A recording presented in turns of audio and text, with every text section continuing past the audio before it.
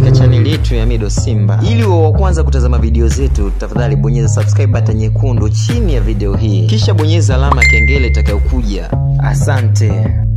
Watu 14 wamepoteza maisha na wengine watano hawajulikani walipo kufuatia meli mbili za mizigo yani Maestro na Kendi ah, zilizokuwa zikipeperusha bendera ya Tanzania zimewaka moto kando ya pwani ya Crimea ah, kwenye bahari nyeusi nchini Urusi. Ni taarifa za majonzi kweli kweli. Kwa mujibu wa Wizara ya Usafirishaji ya Urusi, meli hizo zilikuwa zina jumla ya watu 31 ambapo watu 16 walikuwa ni Waturuki na 15 walikuwa ni Wahindi na kwamba zimeteketea baada ya kutokea mlipuko mkubwa wakati wa kuhamisha mafuta kutoka kwenye tenki moja kwenda jingine. Taarifa zinasema kuwa tukio hilo limetokea karibu na mlango wa bahari wa Kerch ambako pana msuguano mkubwa baina ya Russia na Ukraine. Na katika siku za karibuni uh, Russia ilitaifisha meli tatu za Ukraine uh, zilizokuwa zikijaribu kupita sehemu hiyo. Wanamaji wa Russia walijaribu kuokoa mabaharia wa meli hizo ambao walijirusha baharini ili kuokoa maisha yao. Kikosi cha uokoaji nchini Urusi kimesema kuwa watu kumi na mbili wameokolewa wakiwa hai ambapo mili 11 ikiopolewa na mili mitatu bado haijapatikana mpaka sasa. Endelea kukaa nasi kwa taarifa zaidi. Jina langu naitwa Mido Simba. Unaweza kunifollow kwenye mitandao ya kijamii ah, kama Instagram, Facebook na Twitter. Natumia jina moja tu nalo ni Mido Simba. Ukinifollow kule utakuwa umefanya chamana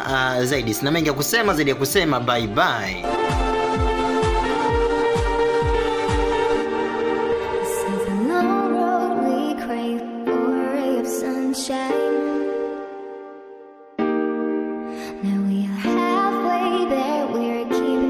Focus on that. Maybe together we're gonna scare the fear itself. Melo Simba, we are everywhere. Melo Simba, we are everywhere.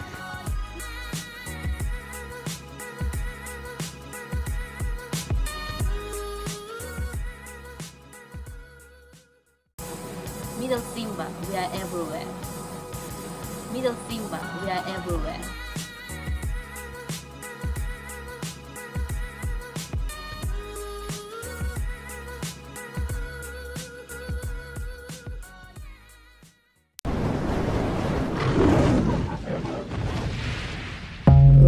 Karibu katika chaneli yetu ya Mido Simba. Ili uwe wa kwanza kutazama video zetu, tafadhali bonyeza subscribe button nyekundu chini ya video hii, kisha bonyeza alama ya kengele itakayokuja. Asante.